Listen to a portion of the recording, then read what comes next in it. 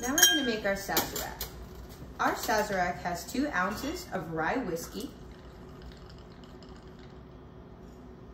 a half an ounce of simple syrup, two dashes of Angostura bitters,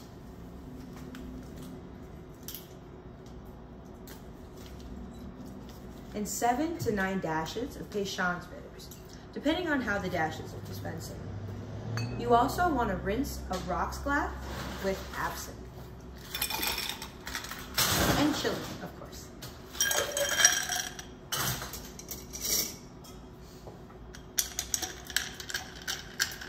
Combining all of the ingredients into the mixing glass to, to dilute.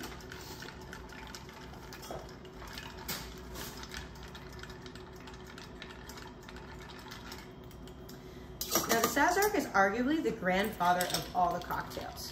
It was developed by Dr. Peychaud in New Orleans for medicinal purposes and it originally used brandy. This drink became so popular that at one time, Sazerac was a southern slang for a cocktail.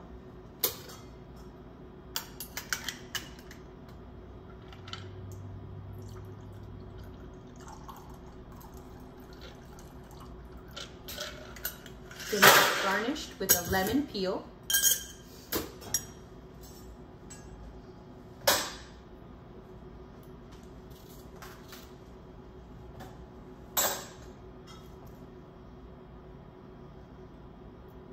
And there you have our Sazerac.